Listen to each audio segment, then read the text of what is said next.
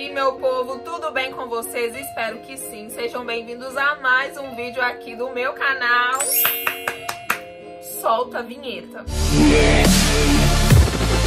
Vocês já perceberam que quando eu apareço maquiada no canal, pode saber que tem alguma coisa muito importante acontecendo. E hoje é um vídeo muito, mas muito, mas muito importante. Não que os outros vídeos do canal não sejam, mas tem vídeo que é mais importante que o outro. E hoje é o dia que eu completo dois anos de Big Shop. O que, que é Big Shop? Big Shop significa grande corte, grande corte da química do cabelo. Exatamente hoje, estou gravando esse vídeo hoje, é 22 de abril de 2022. Completam exatamente dois anos que eu cortei o meu cabelo bem curtinho pra passar pela transição capilar. Gente, o tempo passa muito rápido.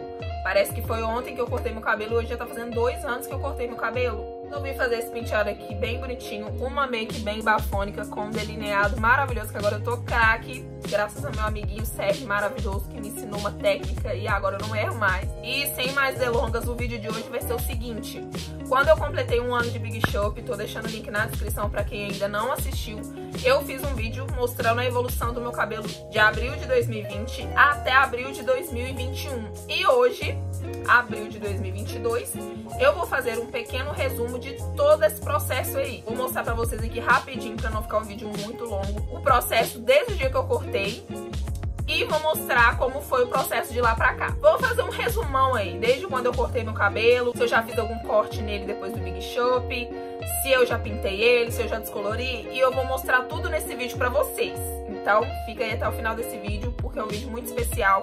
É um vídeo que eu espero que inspire muitas pessoas. Então, pega esse vídeo aí como inspiração. Espero inspirar várias pessoas, assim como eu já inspirei de lá até aqui. Espero inspirar várias pessoas daqui pra frente também.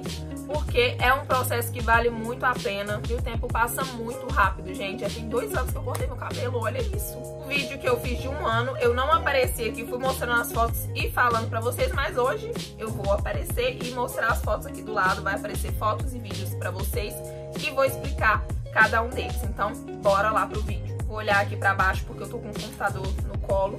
Vou vendo as fotos aqui, mas vai aparecer pra vocês aqui, tá? Então eu vou começar por esse vídeo aqui, que foi o vídeo que eu gravei no dia que eu ia cortar meu cabelo.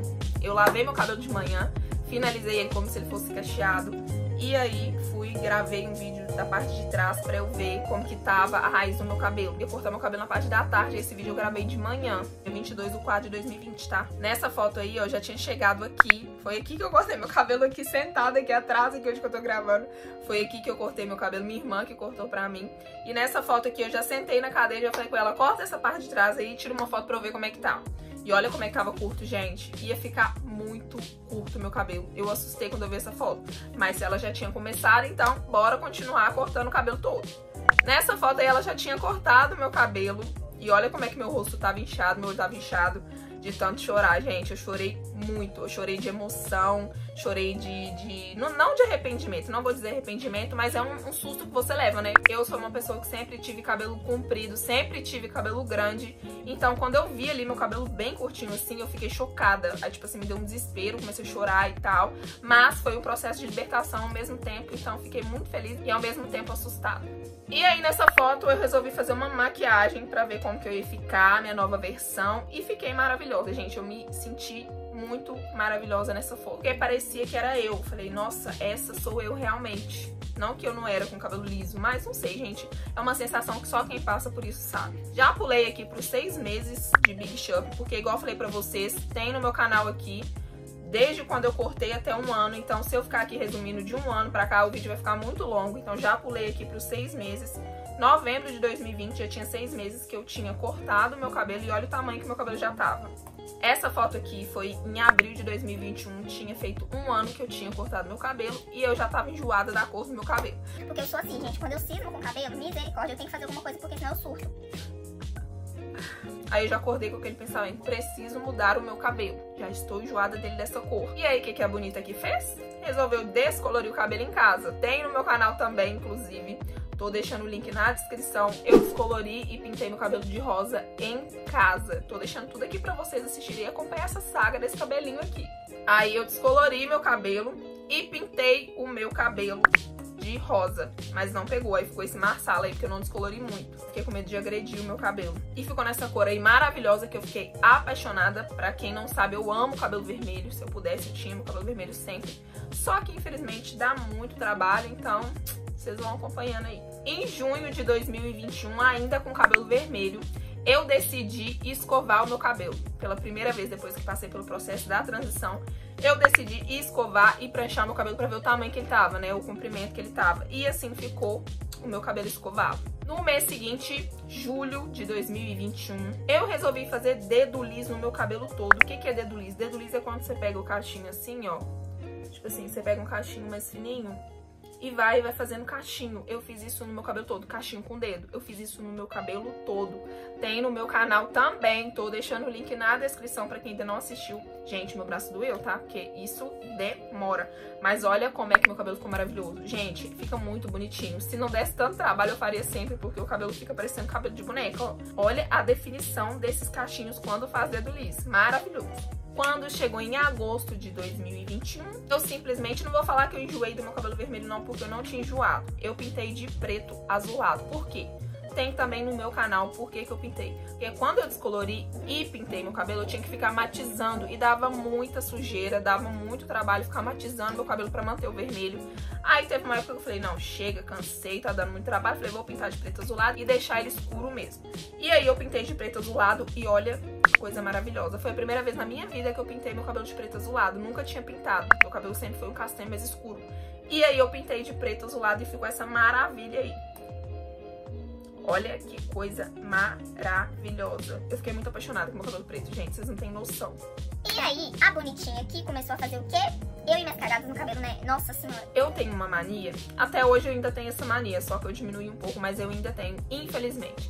Eu tenho mania de ficar puxando meu cabelo, arrancando nozinho. Quem tem cabelo cacheado e cabelo liso também, eu tinha essa mania também quando eu tinha cabelo liso. Só que quando você tem cabelo liso, seu cabelo não dá tanto nó. Como o meu cabelo é cacheado, dá nozinhos. E aí eu tenho mania de ficar puxando, principalmente quando ele tá seco. Eu tenho mania de ficar puxando os nozinhos aqui, como se não bastasse, não é só puxar, eu arranco os nozinhos. E aí o que, que a Bonita fez? Tô mostrando pra vocês nessa foto aqui, ó, tá vendo? Do lado esquerdo do cabelo tem tipo um vão. Deu essa diferença no meu cabelo, porque eu ficava puxando e arrancando mais de um lado do que do outro. E aí eu pensei, fudeu, o que que eu vou fazer? cabelo tá todo desigual atrás. E também já tinha já muito tempo que eu tinha passado pelo Big Shop e meu cabelo tava precisando de um corte. O cabelo, gente, quando você vê que ele já não tá mais ficando do jeito que você quer, quando ele tá meio estranho, umas pontas ali, outras ali, tem, você tem que fazer um corte no cabelo. Pro cabelo criar mais forças e crescer também mais rápido. E aí eu resolvi ir no salão e cortei o meu cabelo desse jeitinho aqui, ó. Pedi ela pra tirar mais atrás e deixar mais na frente, mais comprido, porque atrás que tava dando aquela diferença aqui do vão. E aí meu cabelo ficou desse jeito. Eu amei esse corte, tô deixando esse vídeo aí pra vocês verem. Eu amei esse corte no meu cabelo porque ficou mais fácil de cuidar e ficou bem bonitinho. Ela fez o jeitinho que eu queria, atrás mais curtinho e aqui na frente bem cheinho. Eu amei esse corte. E aí, meu cabelo, olha que lindo, gente. Perfeito. E aí meu cabelo foi crescendo. E aqui, ó. E nessa foto aqui, o meu cabelo já tinha desbotado. Pode ver que ele tá bem desbotado nas pontinhas, tá vendo? Porque eu só tinha pintado uma... Na verdade, eu não pintei. Esqueci de contar esse detalhe pra vocês lá atrás. Quando eu fui escurecer meu cabelo de preto azulado, eu não pintei. Eu usei tonalizante, porque agride menos o cabelo.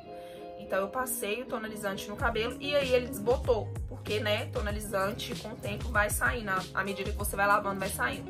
Gente, eu moro em prédio agora, então, estão fazendo obra aí, então esse barulho aí é por isso, tá? Então, meu cabelo tava bem desbotado e eu resolvi pintar o meu cabelo. Aqui eu pintei, aqui eu usei tinta, usei até a tinta da Max Tom. Tem aqui no meu canal. Gente, eu tô deixando muito link na descrição, espero que vocês acompanhem aí o meu canal pra entender o processo desse cabelinho aqui. Mas, é, nesse, nessa foto aqui eu já tinha pintado, ó, pintei o cabelo, né? Uma seguidora me indicou, uma seguidora minha me indicou essa tinta da Maxton, ela falou que demorava muito pra desbotar, e dependendo nem desbotava. E tá até hoje no meu cabelo, ó. Meu cabelo não desbotou, desde quando eu pintei com essa tinta, nunca mais eu tive que pintar nem retocar o cabelo, ó. Tá com essa tinta até hoje. E aí meu cabelinho foi crescendo, ó, tá vendo? Tanto que ele já tava bem crescidinho nessas fotos aqui, ó. Olha esse vídeo, o tamanhão que ele já tava. Na frente já tava bem mais compridinho e atrás já tava bem crescendo. Fevereiro já desse ano, 2022, meu cabelo já tava bem grande. Olha como é que ele já tava atrás, bem grande. O cabelo cresce muito rápido, gente. Não fica com medo, às vezes, de cortar por achar que vai demorar a crescer. Não demora, ele cresce muito rápido.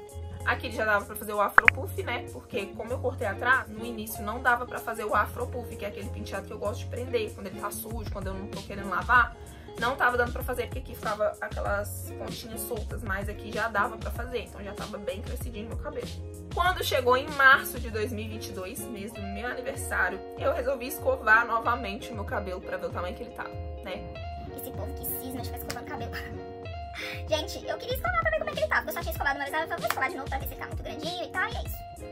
E aí escovei meu cabelo, deu muito trabalho, inclusive tem no meu canal também, eu escovando e pranchando meu cabelo. Vou deixar o link na descrição. E olha o tamanho desse cabelo, gente. Olha o tamanho desse cabelo. Nessa foto que eu cismei de fazer esse penteadinho chihuahua, né? que parece aqueles cachorrinhos que prende aqui em cima, o resto fica solto, ó. Ficou até bonitinho, gostei bastante. Aqui já tá bem mais grandinho, ainda em março desse ano, março de 2022. E chegamos em abril de 2022, que foi o mês que completou dois anos que eu cortei o meu cabelo. Olha o tamanho que meu cabelo já tá. Era pro meu cabelo tá maior, era pra ele tá bem maior que isso. Ele, acho que encolhido, era pra tá tipo aqui assim no meu ombro. Não tá maior porque, infelizmente, eu fiz aquela cagadinha de ficar puxando e arrancando e tive que ir no salão cortar. Talvez eu teria ido no salão, sim, mas talvez eu não teria cortado tanto atrás, né? Teria deixado ele maiorzinho, cortado só as pontas mesmo e acertado. Mas eu cortei ele mais curtinho porque tava dando diferença quando eu finalizava, porque eu fiquei arrancando o cabelo, né? Mas era pra ele estar tá bem maiorzinho agora, mas continua crescendo muito rápido, eu tô evitando ficar puxando. Se você tem essa mania, para, porque dá diferença no cabelo, ainda mais se você arrancar mais de um lado que do outro. Ó, eu arranco mais esse lado que desse. Pode ver que esse lado aqui do meu cabelo é mais cheio e esse aqui, ó, é mais esmilinguido, sabe? Porque eu fico arrancando. Mas tô parando com essa mania. Em nome de Jesus, eu preciso parar. E aqui é a última foto. Essa foto é de quinta-feira agora, quinta-feira passada, no caso. Esse é o meu cabelo. E aqui tá no vídeo, né, aqui mostrando pra vocês o tamanho que tá meu cabelo. E ele tá bem grandinho, ó. E eu tô gostando muito, que eu faço vários penteados nele. Quando eu quero prender, eu prendo. Quando eu quero lavar, eu lavo. Gente, é igual eu falo pra vocês. A transição capilar é de dentro pra fora. Você também tem que se sentir bem em passar pela transição. Não adianta passar só porque fulano passou, só porque eu passei. Você tem que querer passar pela transição, porque não é um processo fácil. Igual vocês viram aí, é, tem gente que deixa o cabelo crescer muito para depois cortar a parte química do cabelo. Eu não, eu já cortei ele curto logo para me livrar das duas texturas, porque eu não aguentava mais aquela raiz inchada e as pontas lisas. Falei, vou cortar esse trem que aí já cresce rápido e pronto. Então não é um processo fácil, ainda mais para você, mulher, que tem sempre o cabelo grande. Às vezes você corta ali não se sente bem, sua, sua autoestima fica baixa.